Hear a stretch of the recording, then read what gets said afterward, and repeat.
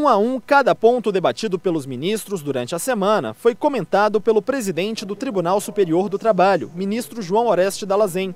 O presidente destacou as principais deliberações do tribunal, entre elas as regras que regem o intervalo intrajornada de funcionários prestadores de serviço em ambientes artificialmente frios.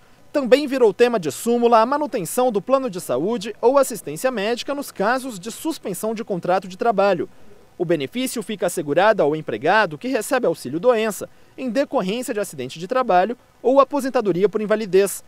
Duas novas súmulas criadas garantem ainda a estabilidade no emprego às empregadas gestantes e aos empregados afastados por acidente de trabalho, mesmo que o contrato seja apenas de experiência ou tenha sido assinado por prazo determinado. Independentemente do tipo de contrato de trabalho, seja por tempo determinado, seja por tempo indeterminado, a empregada gestante é beneficiária da garantia de emprego prevista na Constituição Federal. Outra novidade é para os trabalhadores que cumprem 12 horas de serviço e folgam 36. Os ministros reconheceram a validade da jornada de trabalho prevista em lei e até mesmo negociada por convenção coletiva.